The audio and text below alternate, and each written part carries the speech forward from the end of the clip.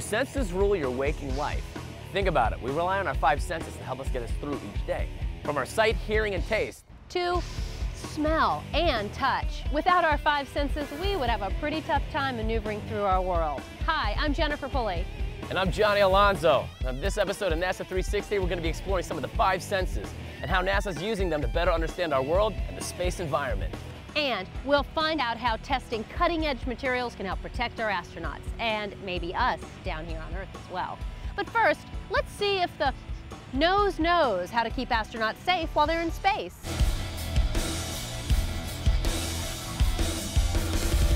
About 2,300 years ago, Aristotle first classified the traditional five senses sight, hearing, touch, taste, smell. Today, we recognize that there are at least six other senses, including pain, balance, direction, just to name a few. But definitely, one of the key senses that we as humans possess is the sense of smell. You know, the sense of smell is a tricky thing. If you're smelling something great like a good meal or the fragrance of a favorite person, then smelling is all good. But what if you get hit with the smell of a skunk or a pile of rotting garbage? Not too fun, right? But back here on Earth, all you gotta do is roll down the window or hold your breath to try to get away from it. But in space, no such luck. If something smells bad within the spacecraft, it can actually endanger the mission, and at worst, endanger the lives of our astronauts. Think this is far-fetched?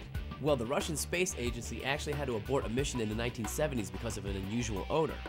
So how does NASA prevent bad odors from endangering a mission?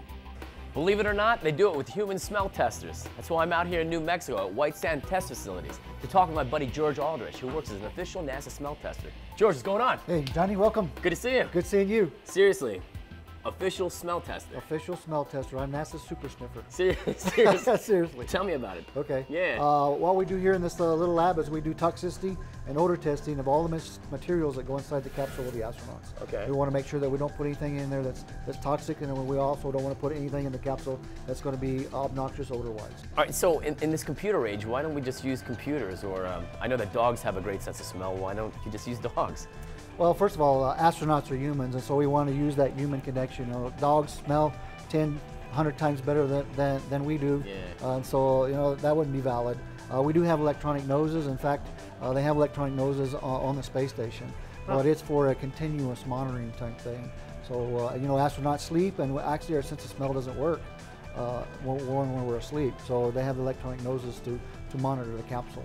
Where do you do all this stuff? Is it right here, or? Uh, we have a lab I mean, we're in the lab now that we have to do the toxicity as a preliminary. The way we do that is we put material into a sealed container. Right. We put clean air in it. Right. We heat it to 120 degrees Fahrenheit for 72 hours.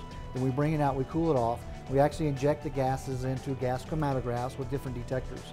We can actually identify and quantify all the chemical compounds that come off that material. We put that into what I call NASA's magical formula. Mm-hmm. And if it's, if it's not toxic, then a lot of times we want to do an uh, odor test. And so once we determine it's not toxic, then we subject it to our human guinea pig panel that NASA has here at, at White Sands Test Facilities. Really? Uh, yes, and we're, we're, volunteers, we're employees here, and we actually have to certify our nose every four months. How do you physically test the smell? I mean, you just put it in the can, kind of like inhale, uh, or? Uh, let's go in the lab and I'll show you. Good, great, let's sure. go, let's go, okay. after you. So this is the lab? This is the lab, this yeah. is where we do our odor testing. Sure. This is actually where we uh, certify our nose. Science says I can get get rid of the safety goggles or what? Uh, yeah, so we yeah. go ahead and get rid of the cool. safety glasses. Yeah. Tell me about this place. What are we doing? Uh, we ac actually have to uh, certify our nose. Uh, these are the 10 bottles that I was talking about. Right. Uh, and we've actually added chemicals to seven of those to give the seven primary odors, -huh. which are musky, minty, floral, ethereal, camphoraceous, pungent, and putrid. Okay. And the other three are blank. So every four months we have to sit down, smell these 10 bottles, identify the seven odors on which three are blank. You want to try it? Yes, I'll be a guinea pig. Let's do this. Okay. What is this? Uh, what's that stuff called? Campho-Phenique? Exactly, it's a camphor smell. Hey, I got one right. Check that out, man. Let's get another. Okay. Try this. Try that one. Like a peppermint? Uh, peppermint. Yeah. Minty. Yeah. I'm rocking out here. Let's do one more. I gave it away again. You did? That's like floral. What are you talking about? He's lying to me. This guy's lying to me.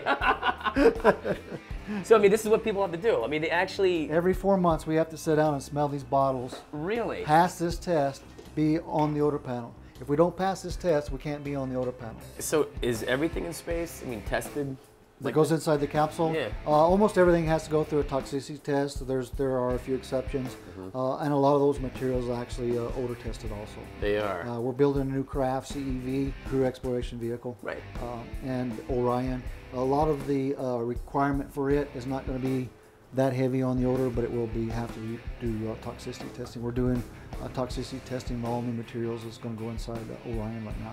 So I mean, you're learning about these things from up in space. Right. I mean, how is that going to be applied to stuff down beneficial here on to Earth? us here on Earth. Yeah. I believe that you know the material testing that we do here is benefiting Earth uh, because of the fact that uh, we're testing materials.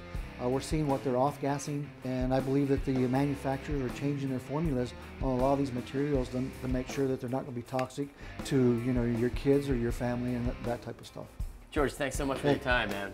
Appreciate it. It was a lot of fun, Yeah, I had a seriously. good, I had a good time. And definitely uh, keep uh, number five locked down. That one really. You can take that one with you. No, no, but I'll take I'll take the glasses though. Take the glasses. I'm notorious for taking yeah, things. those are cool. All right, man. Thanks a lot, man. Yeah. Right on. So with NASA's help, we're learning a lot more about how to make new products less harmful to humans. Hey, stick around. You're watching NASA 360.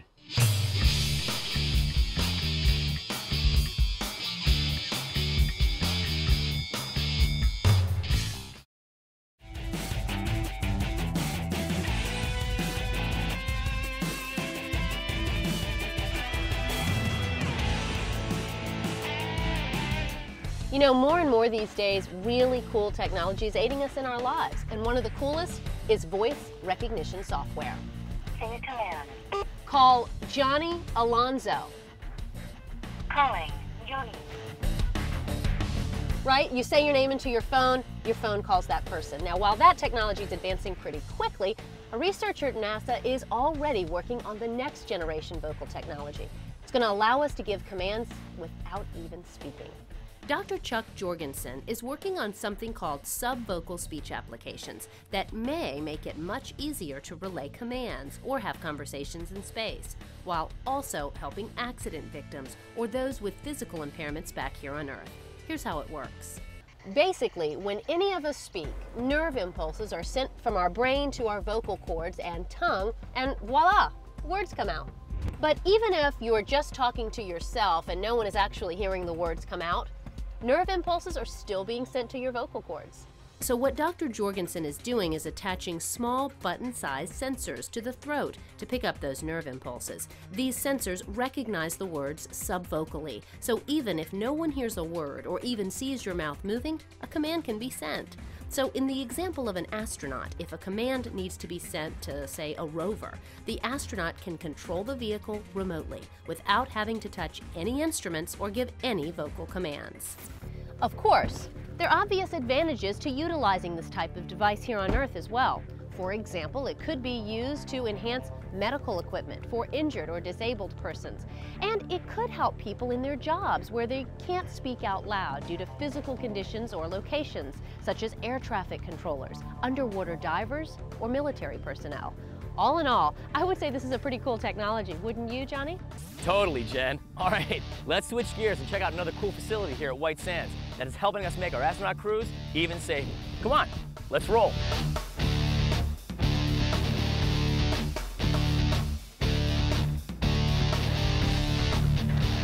Since the late 1950s when we started sending rockets and satellites into space, the area known as low Earth orbit has become pretty cluttered. There are millions of man-made objects and naturally occurring micrometeoroids that are swirling high right above our heads. One of the main challenges NASA faces is to be sure structures, vehicles, and spacesuits are safe. But how do you test them to withstand the impact from these small particles? Well, check this out. There's this really cool facility here at White Sands that does just that. Let's head inside and meet my friend Karen Rodriguez, who will show us how NASA tests hypervelocity impacts. Karen, hey, how are you? Good. How are you doing? Good, good to see you. Wow, this place is something else. Tell me, um, what's going on here? Well, what we've got here is our remote hypervelocity test laboratory. Okay. And what we do is we utilize two-stage light gas gun Okay. to simulate micrometeoroid and orbital debris. So, why do you do hypervelocity testing? Well, there's over 100,000 metric tons of debris in space. And this debris is traveling in various uh, orbits around the Earth. Okay. And so we have, of course, the International Space Station in space, and we have the astronauts going up in the shuttle. And so we want to protect the astronauts, the International Space Station, from this debris. This is NASA's number one risk, and we want to make sure that the astronauts are safe Sure. and that they can come home safely to their families. Of course. So, how do you decide what to test? Well, that's a, it's a real interesting question. Yeah. Actually, what we do is we work very closely with Johnson Space Center Okay. and a group over there called the Hypervelocity Impact Technology Facility. What they'll do is they'll perform an assessment of the shuttle after it has gone into orbit. And when it comes back, they'll look at the size of the debris for the impacts that were created. They'll take that information and look at their existing models and then determine what size of projectiles we need to shoot. Now, we shoot spherical projectiles, but not all debris in space is spherical. But for modeling reasons, it's actually easiest to model spherical projectiles. Now, what they'll do is they'll look at different densities of the materials that are actually in space. So not just uh, micrometeoroids, but of various um, explosions, impacts, anything that may have occurred in the past that has generated new debris. They'll look at what type of material that is and then choose a, another material of similar density and choose that material for an impact. Do you have any examples around here? Actually, You do? we do. Hey, Thank you. what do you got? So what we've got is a nylon projectile and an aluminum projectile. Now these are just two different sizes, but there's actually a variety of materials that we can test. Okay. Aluminum, stainless, um, glass, anything. So pretty much any projectile that is an inch and smaller we can test. So what we have in here is 50 micron projectiles. Now you can kind of see the dust down there in the bottom, but it's really tiny. Right. And we can shoot one of these as a single projectile all by itself. So, um, here's, here's my question. I mean, why would you want to test something that small? I mean, how can that hurt somebody in space? Well, the reason we want to test projectiles these small is because there's a lot more of smaller projectiles in space. But how can that hurt an astronaut? Well, you've got a more abundant amount of these small projectiles. And because you can't track it, if it impacts uh, the astronaut spacesuit or even a, a shuttle glass window, the damage varies. And so that's why we do a variety of testing. There's a paint fleck that once impacted the window on the shuttle and it created some damage to it. And then the question being, of course, you've got a vacuum in space and how does that compromise the material properties of that piece of glass once it's been impacted? Oh, wow. So, Karen, it's, it's really hard for me to understand like, these speeds. And can you give me an example? Well, if you can imagine traveling from the East Coast to the West Coast in approximately 10 minutes. Yep. That's how fast debris is traveling up there. So it's not just the astronauts that we're wanting to keep safe. You've got your satellites up there that are for your, your television and for your cell phones. And so who knows what'll happen if those satellites are impacted. Wow. So, this is an actual gun then, right? Yes. Yeah, tell us how it works. All right. This is our 17 caliber launch range. Right? We've got our end cap, and this is where the gunpowder is loaded. Sure. Now inside here we have a piston.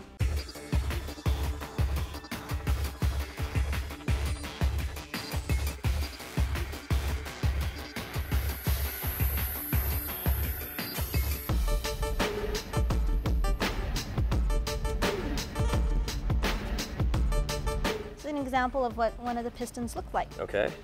Now the piston is inserted into the pump tube section of the gun Gotcha. have a vacuum, and then we fill it with hydrogen. Gunpowder burns, accelerates that piston forward, compressing the hydrogen gas. This is our high pressure coupling. Now what we have in here is a tapered section. So, the projectile is here, right? And the gunpowder is all the way down there, right? Right. Why? Okay. This is a two-stage light gas gun. Okay. If you have a single-stage gun, Right. conventional methods won't allow you to get to the velocities that you need to achieve to simulate hypervelocity debris. Okay. So we have this section of the gun because we need the two stages in order to compress the gas in order to accelerate the projectile to a high enough velocity to simulate that micrometeoroid and orbital debris. So the pump tube has compressed that hydrogen gas into this section. We have a petal valve which then ruptures and allows the high pressure gas to accelerate the launch package forward. So this is our barrel, Right. and it has a .17 ID diameter bore, thus a 17 caliber gun. Inside here, we have the launch package.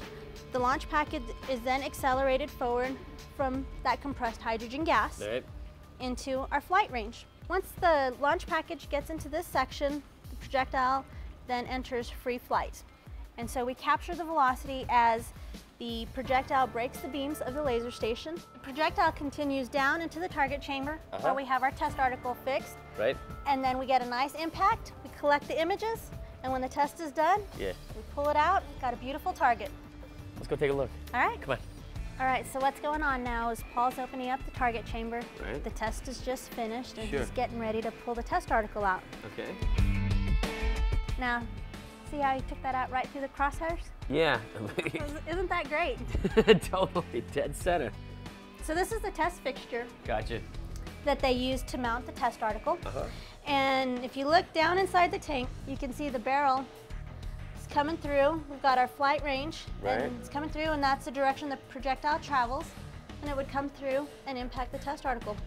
We have our high-speed imaging systems, which are capable of 200 million frames per second. Wow. So the, what happens is we have the cameras right over here.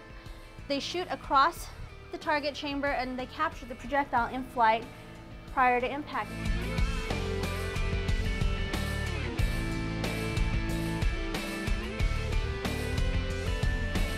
Karen, thank you so much for having us. All right, Johnny, thank you for coming out. I'm glad to have NASA 360 joining us out at White Sands Test Facility and hope to see you soon. You definitely will. Thanks.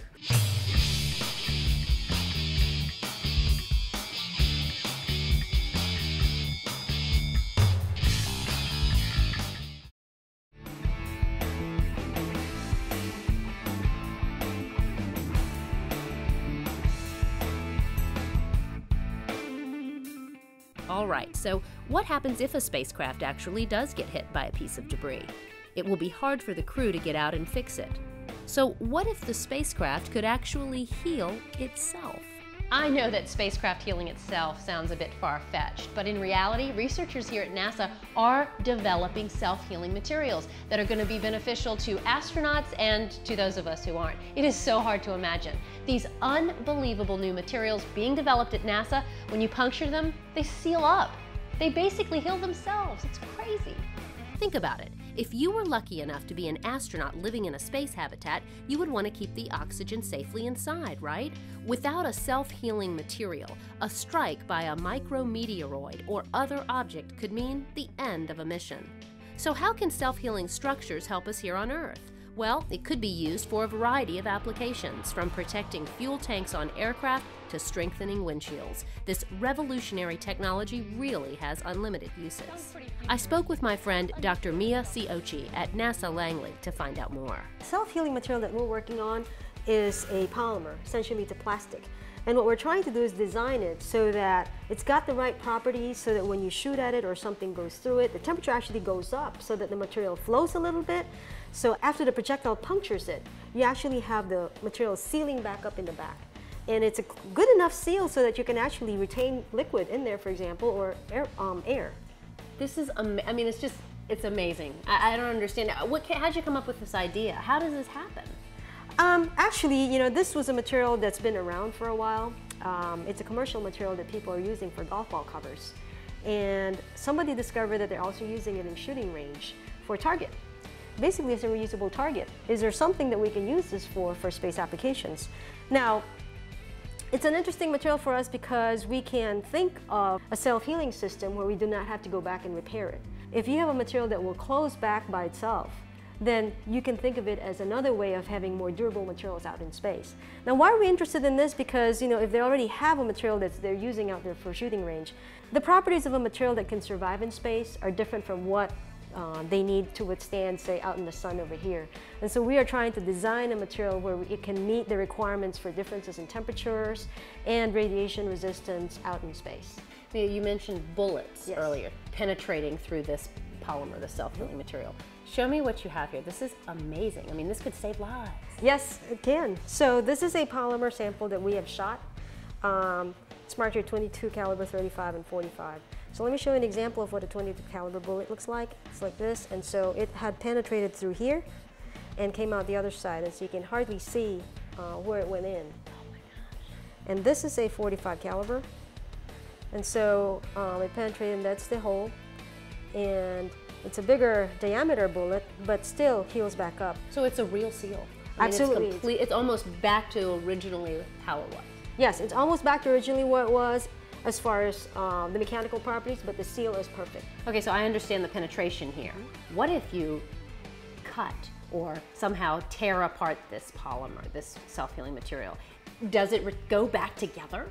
Well, it depends on the conditions that you use that in. For example, we have done it so that um, when you cut through the sample, it warms it enough so that it seals back behind itself, so that when you pull on it, it actually is together.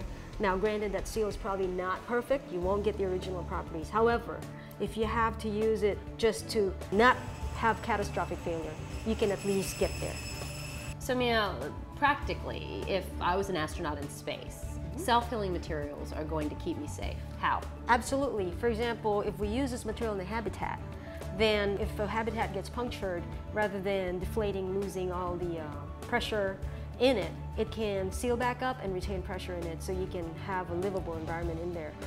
Um, even farther out, if you can have this kind of material in an astronaut suit and they're working outside, um, then it'll protect them from the, um, from the life support systems that are already incorporated in the astronaut suits. So obviously beneficial to astronauts in space. What do you foresee as benefits to us here on Earth? One thing that we've thought of is car windshields, for example. Um, you know how you sometimes are going down the highway and you get pebble hitting your car and it causes a crack in the windshield and you have to replace it. In this case, we're hoping perhaps that if, if that happens, then um, the glass behind it actually seals so you don't have to replace your window. Saves you money, have a more durable windshield and it's safer for you. Um, there are other things like wire insulation. The insulation chaves and then, um, and then you have uh, it cracking and then you have um, arcing, right? Okay, and so that's unsafe um, wiring. And if we can use this type of material, then you can have more durable uh, wiring in uh, various applications that will last longer. Mia, I am amazed at this technology. Thank you for sharing it with us. You're most welcome. My pleasure. And just remember, if you look around you every day, you're going to find technology, inventions, devices that originally came from NASA. Trust me on this one. More of those inventions are yet to come. That's it for now. For Johnny Alonso, I'm Jennifer Pulley. Catch you next time on NASA 360.